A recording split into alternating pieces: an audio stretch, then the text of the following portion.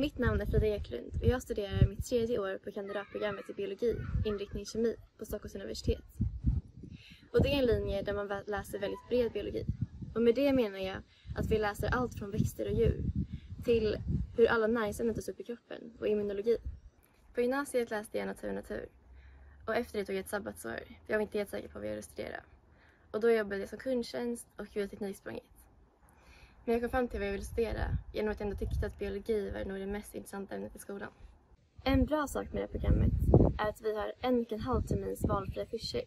Vilket innebär att vi då kan göra en termin ut, utbytesstudier men också läsa kurser som inte ingår i våra, i våra program. Så till exempel så vill jag läsa matematik och en extra immunologikurs. En annan bra sak med mitt program är att vi gör så mycket olika saker. Vi har både fältveckor, vi har labbar, vi har föreläsningar och varje dag ser väldigt olika ut beroende på vilken kurs vi läser. Som till exempel på kemin kunde vi ha labbar från 8 till 18. Medan nu under ekologin så har vi haft föreläsningar tre gånger i veckan, 9 till 12 och resten självstudier. Så det ser verkligen väldigt olika ut beroende på vilken kurs vi läser. Det bästa med att plugga i Stockholm och på Stockholms universitet är att man kan kombinera storstadslivet med studentlivet.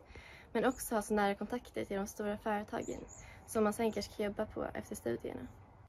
På min lediga tid spelar jag handboll, tränar och jobbar extra som studentambassadör och läxhjälp, men även hänger med kompisar.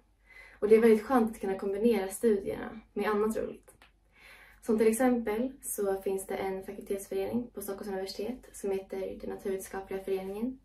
Och där har jag varit aktiv i deras infoutskott som hemsidansvarig, men också varit aktiv i deras klubbmästeri. Och som aktiv i klubbmästeriet så får man jobba sittningar, jobba pubbar, men även gå på sittningar och pubbar, både på Stockholms universitet men även på KTH och andra universitet. Så om du nu börjar plugga på Stockholms universitet, gå med i någon av fakultetsföreningarna för där får du träffa människor från helt andra linjer. Om du nu har några funderingar hur det egentligen är att studera biologi vid Stockholms universitet, eller vad studentlivet har att erbjuda, eller kanske med utlandsstudier, i så fall tveka inte på att höra av dig till mig.